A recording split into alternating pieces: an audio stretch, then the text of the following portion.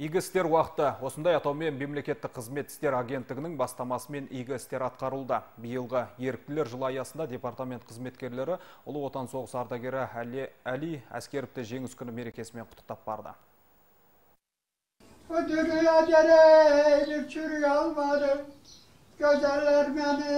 ya da salmadı. 98 жасында түрік әнін шырқап отырған Әли Ақсақал 1922 жылы Грузияда дүниеге келген. Соғысқа туған жерінен 20 жасында аттанған. Сталинград майданында 65-ші атқыштар бөлімшесінің батальон командирі болып, жауға қарсы шайқастарда ерлік көрсеткен. Жүзге жақындаса да Әли Әскеров соғысқа қай күні кеткеніне дейін есінен шығармаған. 42 yılın yanvarın 10'unda vuruşa vardım. Berlin'de oldum. Stuttgart'ta oldum. Ha, Elba'da oldum. Berlin'den sonra borsuz zabotu var idi. Orada işledik. Ondanken o zabotu bombaladılar.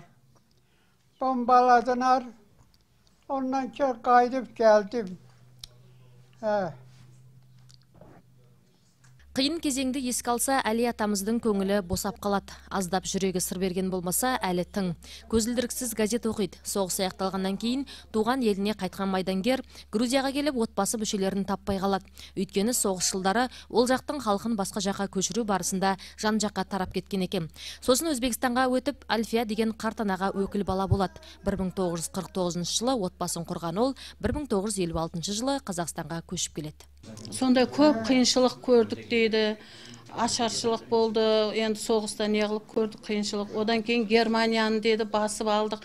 Германияның тоғызыншы майда сол жақта болған жеңіс күні. Одан кейін үш ай тағы сол германияны восстановить етіп орнына келтіру үшін үш ай тағы сол жақта болған әкем. Сонымен өзіміздің сол төрт бала шағаны өсірді құдайға шүкір. Сол әкемнің барына да шүкір. Бір жалғыз өзі болғаннан көп қиыншылық тартқан әкем.